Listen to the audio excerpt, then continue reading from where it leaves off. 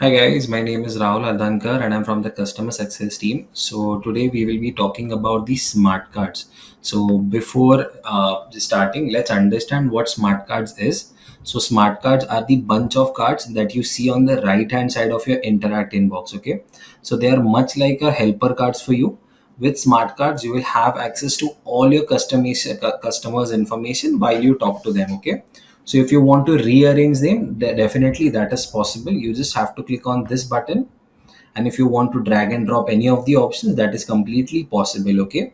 Now let's say if you want to edit any of the information of your customers, definitely that is possible. Click on edit. Now, if I want to add his age, let's say if I'll add it, add, uh, add the age of the customer, just have to do this and save the information. This is how you can customize your information as well. If you want to add any uh, notes so let's say uh, if i am talking to this customer and if he's saying he, i need i need to have a call between uh, 1st june to 7th 7th june right? So i can write a note. So whenever i pass the contact to any of my agent he will be able this particular note okay?